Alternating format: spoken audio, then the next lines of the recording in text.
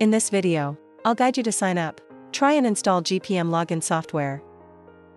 If you find the video helpful, click follow channel to update the next useful videos. First you open the browser and access. Go to the official GPM login website. Here you will see a 7-day free trial option. Click on trial.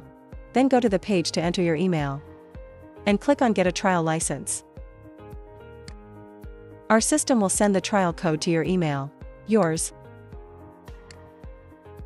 Download the software and install it.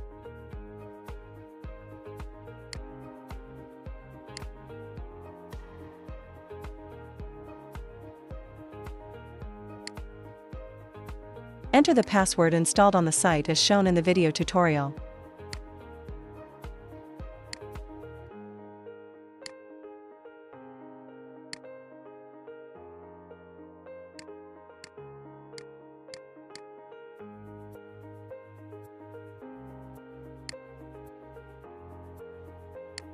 After the installation is completed, enter the trial code and proceed to create a folder to save the profile.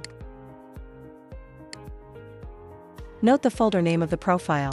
This is not a Vietnamese or name. have special characters to avoid errors. You have successfully installed the GPM login software. This is a detailed guide on how to use GPM login. Please come and watch.